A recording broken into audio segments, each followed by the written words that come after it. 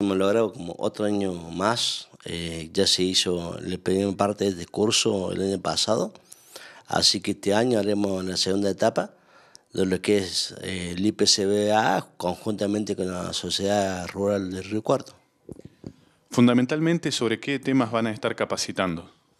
Capacitamos por el tema de, la manipulación de la carne desde el momento que sale del campo, para faena y llega el mostrador los, pasos que se tienen que respetar en cuanto a higiene y seguridad y cadena de frío y, todas las otras medidas de seguridad para que el consumidor encuentre un producto de excelencia en, en, en, el vidrio de demostrador y bueno, para que también nos, nos complementemos nosotros como trabajadores,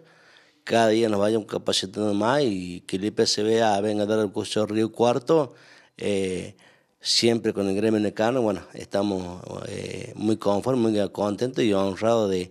llegar a este, a este logro que no solamente sirve para el empleo de carne, que sirve para inspectores, bromatológicos, que sirve para el EDECON, creo que va a enviar eh, gente de bromatología, también puede capacitarse porque nos sirve para, para ambas partes.